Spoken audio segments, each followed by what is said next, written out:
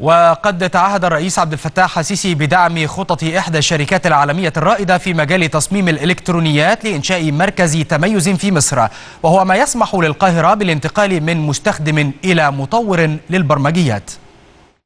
المركز ده أنا مستعد بأي شكل أعمله مهما كان تكلفته بشرط إن أنتوا تيجوا تيجوا معانا.